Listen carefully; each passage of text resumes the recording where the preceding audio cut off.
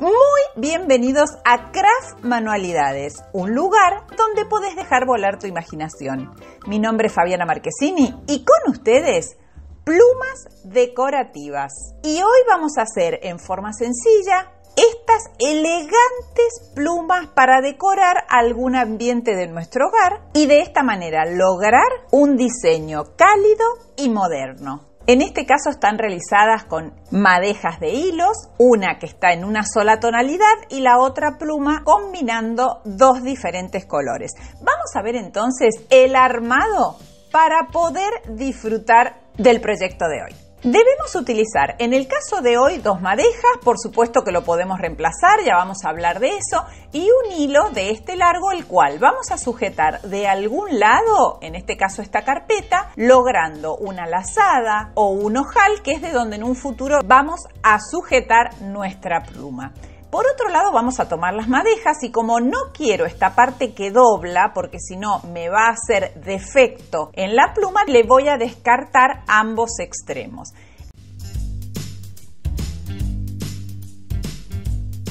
En este caso tenemos un tono, un tostado oscuro y en este caso estoy haciendo lo mismo con un tostado un poquito más claro. La diferencia es sumamente sutil.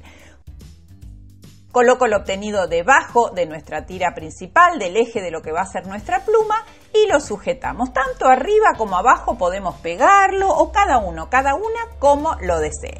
Vamos a ir tomando de a uno y en forma alternada en el color en este caso y realizamos un nudo. Llevamos hacia arriba el primero de nuestros hilos para lograr así una pluma y ahora sí, detalles a tener en cuenta. El nudo durante todo el proyecto debe ser para el mismo lado. Y en el caso de ahora vamos a ir alternando los colores.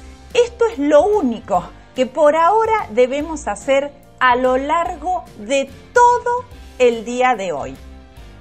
Vamos a acelerar un poquito para que puedan ir viendo cómo es un trabajo para no estar muy apurados, muy apuradas, para hacerlo y disfrutar el proceso.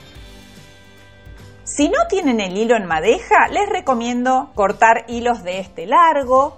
Por supuesto pueden hacerlo del tamaño que ustedes deseen.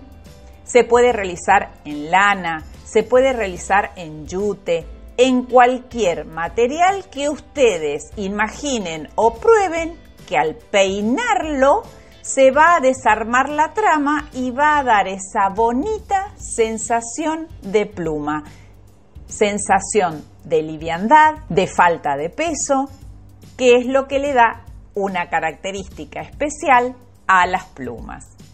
Una vez entonces que tenemos toda esta cantidad cubierta con los nudos, viene una de las partes lindas y divertidas y hay que tener cuidado por supuesto peinarlo. Directamente vamos a tomar un peine y también pueden tomar un cepillo y despacito comenzamos a peinarlo para que se vaya desarmando cada uno de los hilos.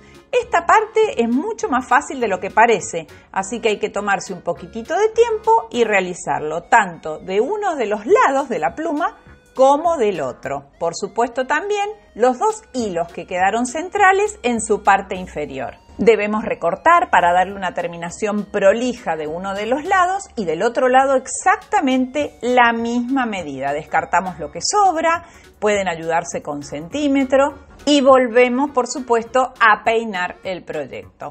Ahora sí, comenzamos a darle la forma de peinado hacia abajo y si hay algún hilo que sobra más que otro, por supuesto lo vamos a recortar. Ya estamos viendo el extremo inferior de nuestra pluma, qué bonito queda y con qué sencillez logramos esto. Por supuesto le podemos dar el largo que cada uno desee para el proyecto. Elegante, imponente y sencilla forma de decorar. Recuerden que aquí en Craft Manualidades podemos encontrar diferentes ideas para regalar, para decorar o para alegrar un inolvidable día. Nos vemos la próxima y los espero aquí en Craft Manualidades. Chao, chao.